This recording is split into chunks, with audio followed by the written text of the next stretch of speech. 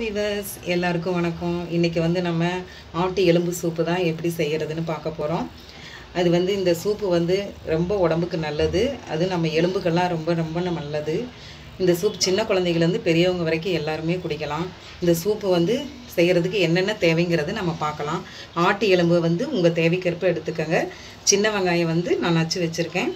தக்காளி வந்து ஒன்றா ரெண்டாக ஜூஸ் பண்ணி வச்சுருக்கேன். இஞ்சி பூண்டு பேஸ்ட்டு இதுக்கு வந்து ஸ்பைசஸ் பாருங்கள் மிளகுத்தூள் மல்லித்தூள் சோம்புத்தூள் சீரகத்தூள் மஞ்சள் தூள் எடுத்திருக்கேன். உப்பு தேவைக்கேற்ப கருவேப்பிலை கொத்தமல்லி கடைசியாக போட்டுக்கலாம். இப்போ வந்து நம்ம இது எப்படி செய்கிறதுன்னு பார்க்கலாம் இப்போ நம்ம குக்கர் அடுப்பில் வச்சுட்டு இந்த இந்த போனெல்லாம் குக்கரில் போட்டுக்கோங்க. குக்கரில் போட்டுட்டு இந்த சின்ன வெங்காயம் வச்சு வச்சுருக்காங்க இல்லையா அதுவும் போட்டுக்கோங்க. போட்டுட்டு இந்த தக்காளி தக்காளி அரைச்சி வச்சுருக்கிறதையும் போட்டுக்கலாம். போட்டு இஞ்சி பூண்டு பேஸ்ட்டு இஞ்சி இஞ்சி பூண்டு பேஸ்ட்டு ஒரு அரை ஸ்பூன் போட்டுக்கோங்க.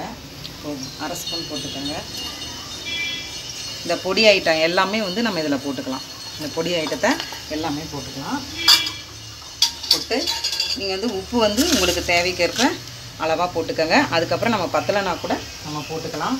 இப்போ வந்து இதுக்கு நம்ம தண்ணி ஊற்ற போகிறோம் இதில்.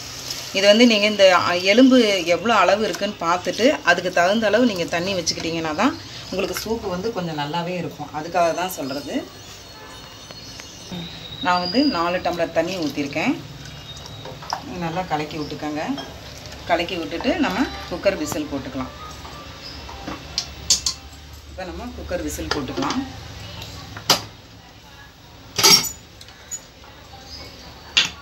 இப்போ இது வந்து ஒரு எட்டு விசில் வரட்டும். அதுக்கப்புறம் நம்ம பார்க்கலாம்.